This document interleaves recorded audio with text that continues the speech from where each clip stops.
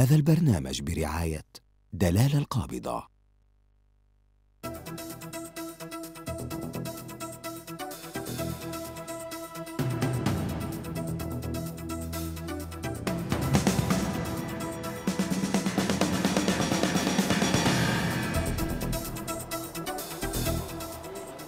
السلام عليكم ورحمة الله. أهلا بحضراتكم مشاهدينا الكرام في المنتصف. لنتابع سويا مؤشرات الأسواق العربية والخليجية والعالمية وأيضا أسواق النفط والعملات والمعادن.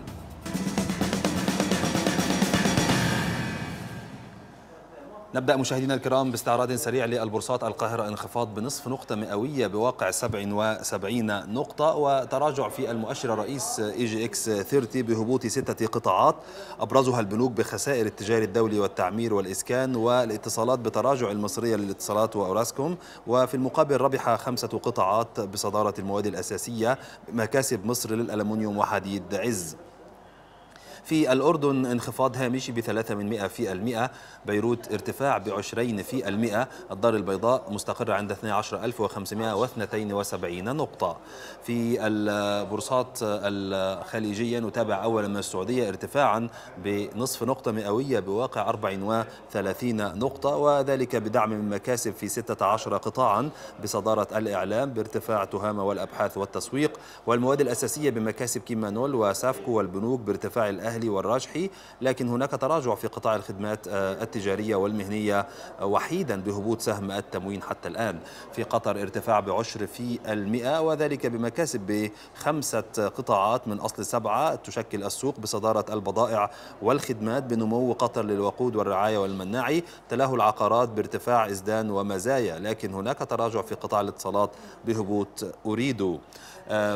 إذا ارتفاع بعشر نقاط تقريبا في السوق القطري. الكويت خمسة من مئة في المئة أقل من العشر المئوي بواقع ثلاث نقاط ارتفاعا في بورصة الكويت. أبو ظبي انخفاض بعشرين في المئة بحوالي ثمان نقاط. دبي ارتفاع ب 25 من مئة في المئة بواقع تسع نقاط تقريبا.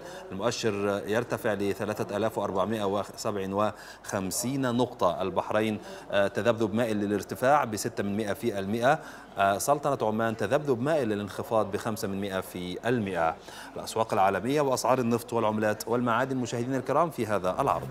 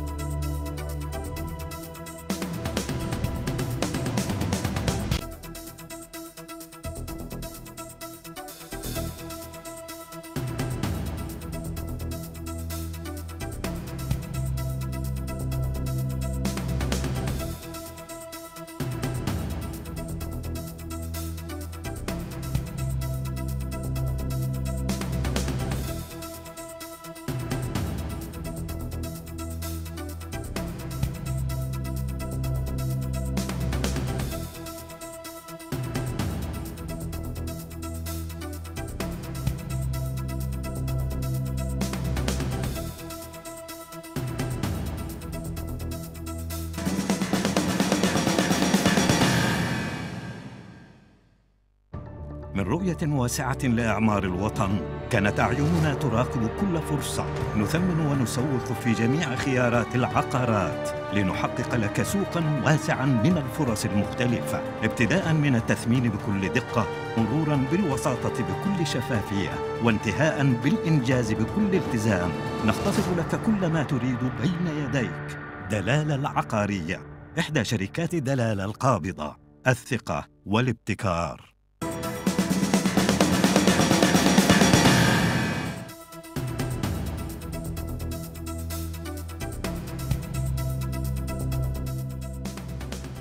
أهلا بحضراتكم مجددا. الآن ننتقل لنتعرف على آخر الأخبار الاقتصادية التي وردت إلينا ونبدأ بهذا الخبر حيث أكدت بورصة قطر أن تأكيد مصرف قطر المركزي التزامه بتوفير السيولة الكافية من العملات الأجنبية بأسعار صرف العملات المعلنة لتغطية طلبات جميع المستثمرين من الأفراد والمؤسسات المحلية والأجنبية. أكد أنه قد بدد مصادر قلق المستثمرين الدوليين. وأوضح بيان البورصة القطرية أن تبدد قلق المستثمرين الدوليين سيؤدي إلى اتخاذ قرار إيجابي من جانب مؤشر مورغان ستانلي للأسواق الناشئة فيما يتعلق بحساب قيمة الريال مقابل العملات الأخرى عند إجراء التحويلات المالية. وقعت قطر وتركيا وإيران أمس بالعاصمة طهران اتفاقية لتسهيل نقل البضائع التجارية وتوسيع العلاقات التجارية عبر تيسيرات لقطاعات النقل البحري والبري بين الدول الثلاث. ووفقا للاتفاقية تعتبر إيران البلد الذي سيوفر أو تعتبر إيران البلد الذي سيوفر التسهيلات الخاصة بالعبور والنقل التجاري بين تركيا وقطر. ونص الاتفاق بين قطر وتركيا وإيران على تشكيل مجموعة عمل تمثل البلدان الثلاثة وتجري أو تجرى ثلاثة اجتماعات تقييمية سنوياً. أعلن رئيس الوزراء العراقي حيدر العبادي أنه بصدد إطلاق حملة كبيرة ضد الفاسدين وطالبهم بإعادة الأموال التي اختلسوها من الشعب وحذرهم من اللعب بالنار لأن مصيرهم سيكون السجون على حد تعبيره. من جانبه قال رئيس البرلمان سليم الجبوري إن مؤسسات الدولة تعاني من الفساد وطالب الجميع بالتصدي له. أعلنت وزارة النفط العراقية أن الحكومة تعتزم بناء خط أنابيب جديد ينقل النفط من حقول كركوك إلى ميناء جيهان التركي وسيحل خط الأنابيب الجديد محل قطاع, قطاع قديم ومعطوب من خط الأنابيب كركوك جيهان الذي خرج من الخدمة عام 2014 بعدما سيطر تنظيم الدولة على المنطقة التي استعدتها القوات العراقية بجانب التحالف الدولي. تحدثت وكالة بلومبرج الأمريكية عن بدء اتصالات بين وزير البترول المصري ونظيره الإسرائيلي حول استئناف مفاوضات استيراد القاهرة للغاز الإسرائيلي. وأكد الوزير المصري لنظيره الإسرائيلي أن العائق الأساسي أمام أي اتفاق هو حكم بالغرامة بمبلغ مليارين من الدولارات لصالح شركة الكهرباء الإسرائيلية بقضية قطع إمدادات الغاز المصري عن إسرائيل في 2012 وافق البرلمان الجزائري على زيادة أسعار البنزين والديزل المدعومة في موازنة 2018 وسط محاولات حكومية لتعويض الانخفاض الحاد في إيرادات النفط والغاز. وتضمنت الموازنة الجديدة رفع ضرائب حالية وفرض ضرائب جديدة على بعض المنتجات المستوردة والمحلية. وكذلك تضمنت زيادة في الإنفاق ب 25% بعد عامين من التقليص.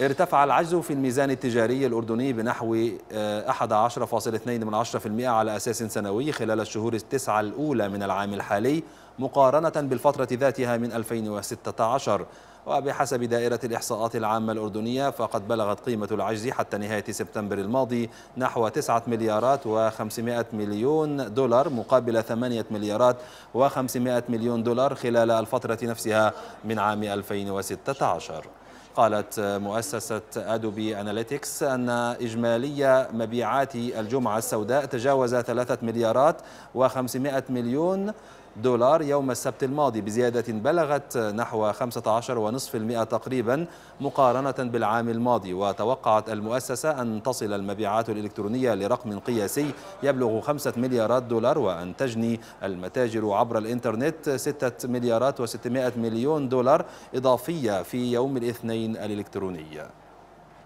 انتهت الأخبار وكذلك التغطية مشاهدينا الكرام يتجدد اللقاء بعد حوالي ساعة من الآن. السلام عليكم ورحمة الله.